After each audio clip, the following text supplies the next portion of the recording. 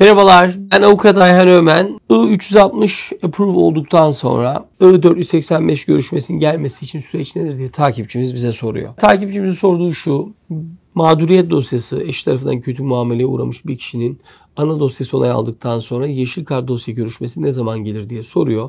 Bu çok değişken bir e, durum. Genelde 6 ay, 6 ay ile 1 yıl arası randevu tarihi veriliyor. Bu genelde süren süreç bu ama bunun üzerinde de sürdüğünü bazen görüyoruz.